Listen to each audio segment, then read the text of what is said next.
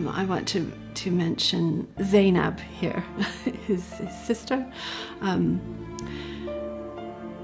because she survived um, along with um, some of the women and, and, children. They survived and they were dragged from pillar to post as, as a kind of example of see, this is what's going to happen to you if you stand up against us. But um, that dragging her and, and her, her all, all, the, all of the others um, with her from one city to the next actually was a means by which she was able to stand up and say, this is this is oppression.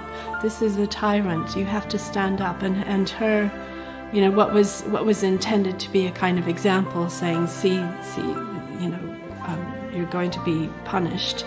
Actually, she was an example that said, stand up to the to tyranny. So yes, Zainab, definitely.